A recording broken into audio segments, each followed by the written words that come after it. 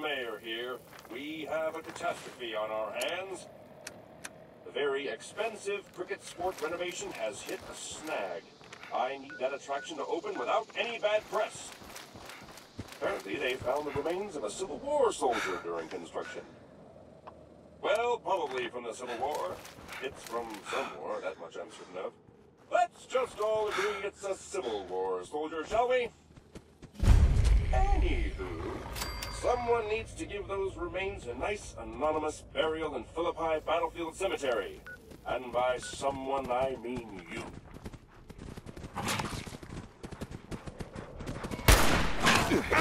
you.